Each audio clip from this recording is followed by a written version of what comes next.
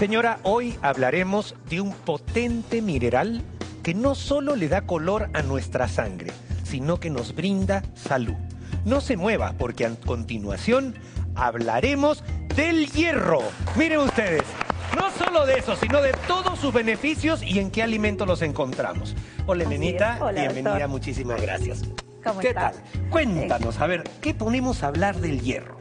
Bueno, le comento, doctor, en las consultas de enfermería se suele recomendar que en la etapa de la alimentación complementaria las madres le puedan dar a los niños un ingrediente muy especial que casi nadie utiliza, que es la sangrecita del pollo.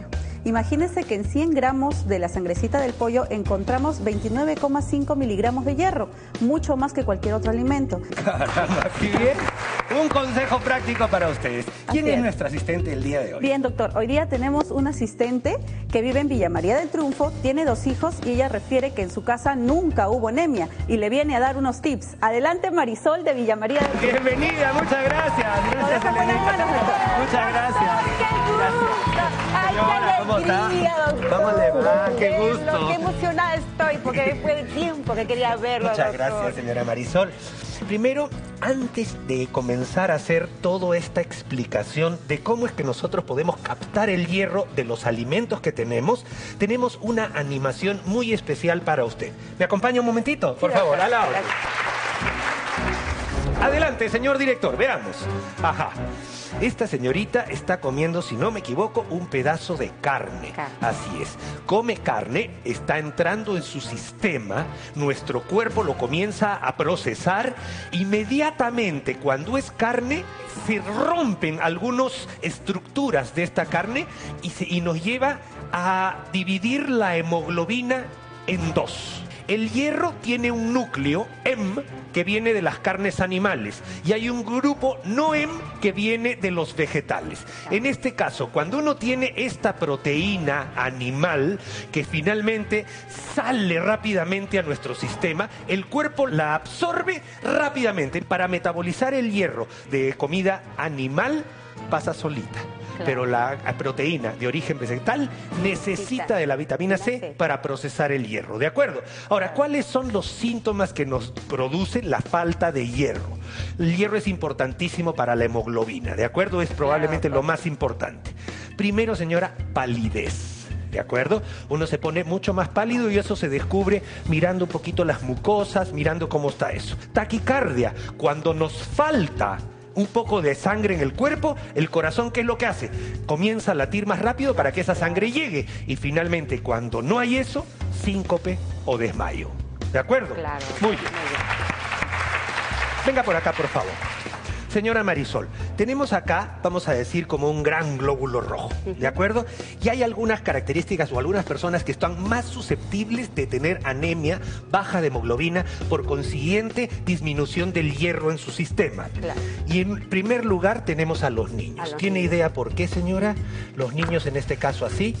Porque quizás la mamá no le, o sea, no les brinda buena alimentación, ¿no? Es la primera causa, Claro. señora, y usted lo ha dicho muy bien. bien. No sé. Primero porque los niños generalmente no comen la comida Claro. que les da y quieren comer solamente lo que ellos quieren. Lógico. Y ahora últimamente se ha visto que los niños se están alimentando de papas fritas Comida y chatarra. pedacitos de pechuga, ¿no es Claro, cierto? Y sí. eso no es lo que nos da una buena nutrición y no es comida rica en hierro.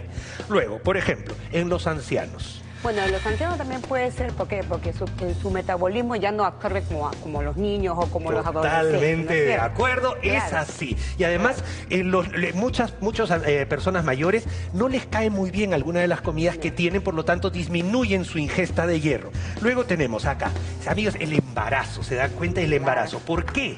¿Por qué el embarazo? Porque la mamá ya no se alimenta solamente a ella, también está alimentando a un nuevo ser que está dentro de ella, ¿de acuerdo? absorbe todo el hierro. Así es. Luego tenemos acá La menstruación. la menstruación. Esta es una de las primeras causas de anemia, menstruación que viene abundante.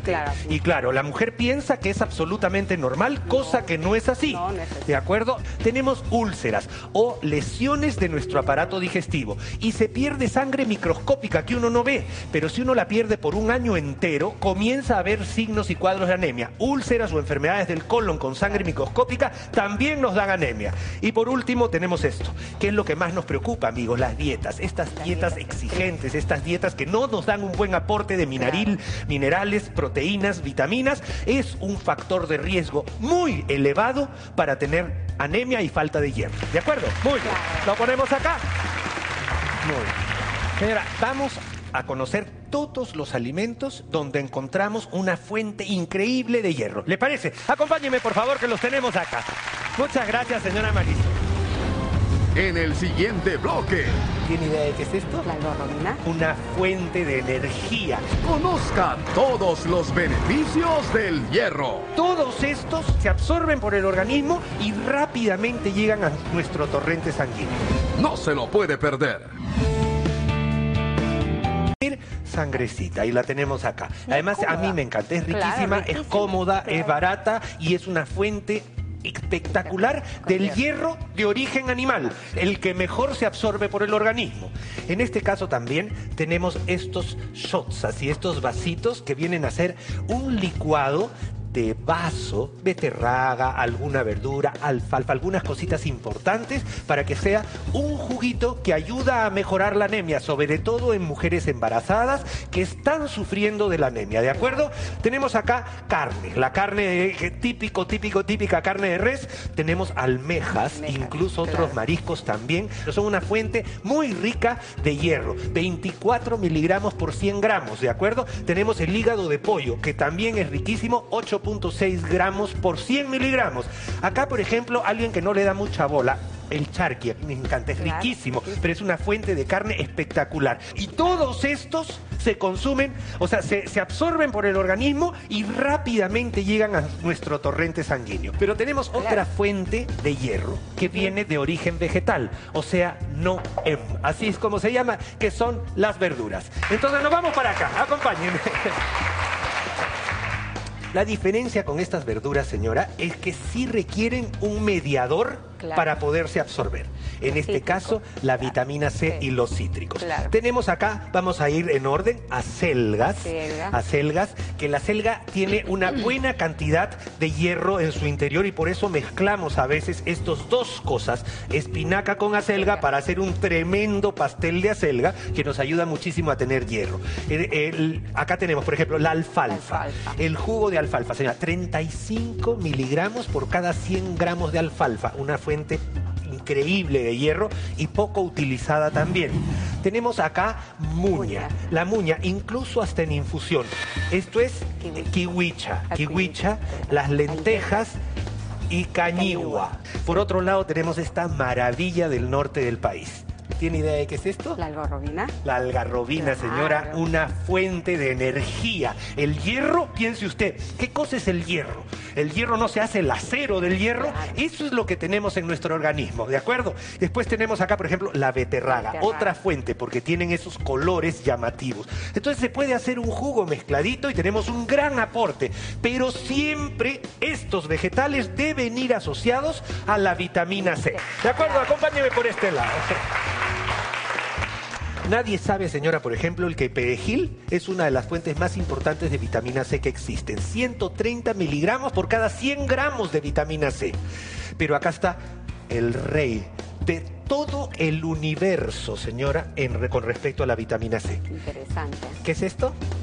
Em, ¿Las uvas? Camu camu. Ah, el camu El camu, camu perdón. camu. Mire, señora, lo máximo que tenemos en lo com- común que comemos, por ejemplo, puede ser el pimiento, Pimiento. que tiene 190 miligramos. ¿Tiene idea de cuánto tiene camu camu? 2.800 miligramos por cada 100 gramos. Es muchísimo más que lo que venden en las pastillas de vitamina C. Imagínese usted, tenemos los pimientos, una fuente muy rica. Acá, por ejemplo, mezclamos una ensalada de pimientos con tomate y cebollita con las menestras de este lado. ¿De acuerdo? Entonces Claro. Estamos aprovechando todos los nutrientes. Mire el color de estas frutas, la naranja, vitamina C, la papaya del mismo color, los rabanitos y el tomate. muy, muy ricos en vitamina C. No se olvide, señora, lo que se necesita es mezclar adecuadamente los alimentos para absorber todo ese hierro que está acá mismo. ¿De acuerdo? Muchas gracias, gracias. Muy amable, señora. Gracias.